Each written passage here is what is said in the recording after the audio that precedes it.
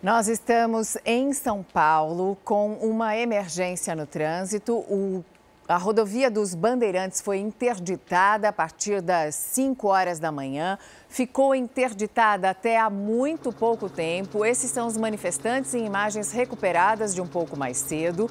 O trânsito que se formou foi um congestionamento de mais de 25 quilômetros ao longo de toda a rodovia, que agora, somente agora, quase às 9 horas da manhã, começa a ser liberada para o trânsito voltar a fluir em direção à capital paulista. Ainda há mais de 13 quilômetros de lentidão. Muitos desses motoristas acabaram optando por seguir pelo Rodoanel para tentar fugir desse bloqueio que durou mais de quatro horas. Essa manifestação teve fogo na pista, teve carro eh, dos bombeiros apagando fogo, teve tropa de choque com bombas de gás lacrimogênio e, e, balas de efeito moral, bombas de efeito moral, para dispersar esses manifestantes que ocuparam a rodovia a partir das quatro e meia, cinco horas da manhã e se recusavam a sair. Agora, neste momento, o helicóptero da Record TV sobrevoa a rodovia dos Bandeirantes e mostra a situação neste momento completamente diferente dessas imagens recuperadas. Rafael Ferraz é o nosso repórter, está na rodovia nesse instante, pode atualizar as informações, sobretudo para quem está pensando em deixar o, interior de São Paulo em direção à capital, hein, Rafael? É um bom momento para pegar a rodovia agora ou é melhor esperar um pouco mais?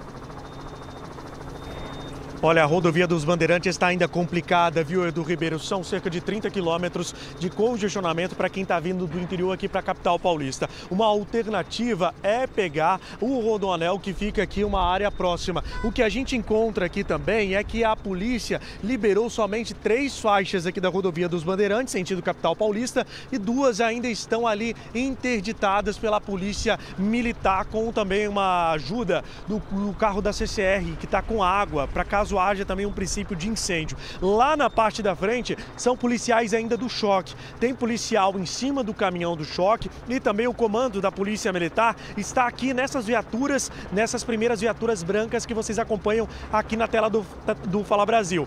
Tem um major da polícia que foi chamado com urgência para cá para decidir, junto com a cúpula da Polícia Militar, o que, que seria feito então com essa interdição que foi feita por volta de 6 horas da madrugada. O que a gente percebe aqui em primeira mão é que os policiais ainda continuam por aqui, porque há o risco desses manifestantes voltarem a interditar a rodovia sentido a marginal do Rio Tietê. Edu Mariana. Olha, essa imagem do lado esquerdo que você está vendo, da concentração dos manifestantes com faixas, pedindo cuidado, né, com, com pautas indígenas, do, do, dos povos indígenas, essa é uma imagem de uma hora atrás. A, a, imagem do seu lado direito já mostra a rodovia sendo liberada nesse instante. A emergência persiste por quê? Porque esse pessoal do lado esquerdo do vídeo correu para as matas dos dois lados. Olha aí, o pessoal da CCR, a concessionária da, que administra a rodovia Bandeirantes, apagando a barricada de fogo que eles fizeram. Quando os manifestantes correm para a mata, ali ao redor, simplesmente a polícia não consegue mais controlá-los. Só que eles podem voltar a qualquer instante. E é por isso que a PM não sai, nem a PM, nem a Polícia Rodoviária Estadual e nem a concessionária saem da pista desse instante. Isso afunila e muito trânsito.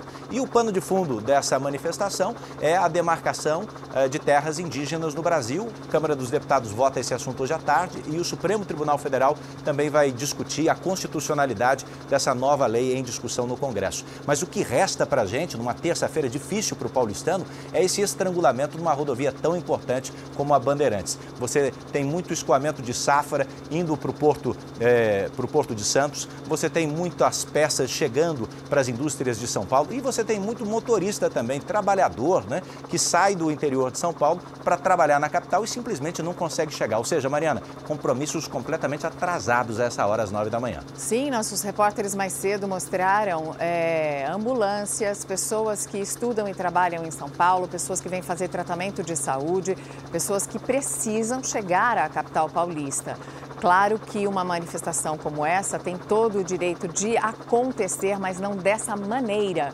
Não pode evitar completamente o direito de ir e vir de outras pessoas. A manifestação tem sua pauta contra a votação da PL 490, que será feita hoje no Congresso, mas as pessoas também têm o direito de ir e vir e conseguirem né, chegar à capital paulista para os seus compromissos. É por isso que a tropa de choque está neste momento na rodovia dos Bandeirantes, que já teve algumas das faixas liberadas, mas a preocupação da polícia ainda é com os manifestantes que se esconderam na mata que existe na lateral da pista é, e que possam voltar. A preocupação é que eles possam voltar para o meio da rodovia a qualquer momento. E você nota que não era muita gente, né? Do lado esquerdo do vídeo, você vê aí é o grosso da manifestação, uma hora, uma hora e meia atrás, pouco antes do pelotão de choque da Polícia Militar chegar.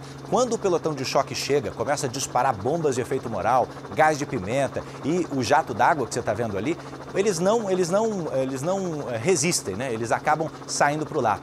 Você vê ali uma faixa escrito Mata Atlântica, você vê uma série de pautas colocadas na pista, mas tudo isso desmobilizado meia hora atrás. Fala Brasil entrou ao vivo para você e já mostrou como isso uh, prosseguiu dali para diante. A questão é, eles têm chances de bloquear essa rodovia importantíssima novamente? Essa manifestação pode chegar à marginal do rio Tietê? Essas são as perguntas que nós fazemos e que ainda estão sem resposta. Por Muito... enquanto, bloque... é, bloqueio desfeito, rodovia liberada. Muito importante a gente encerrar esse assunto por enquanto, mostrando essa imagem à direita do seu vídeo que você vê agora. Apesar de um pouco mexida, é a imagem do trânsito liberado, portanto, na rodovia dos Bandeirantes. Trânsito liberado, a imagem da direita é ao vivo, a imagem da esquerda é do momento da liberação, da, da dispersão dos manifestantes e a imagem da direita do seu vídeo ao vivo, mostrando que o trânsito muito lentamente volta a fluir na rodovia dos Bandeirantes.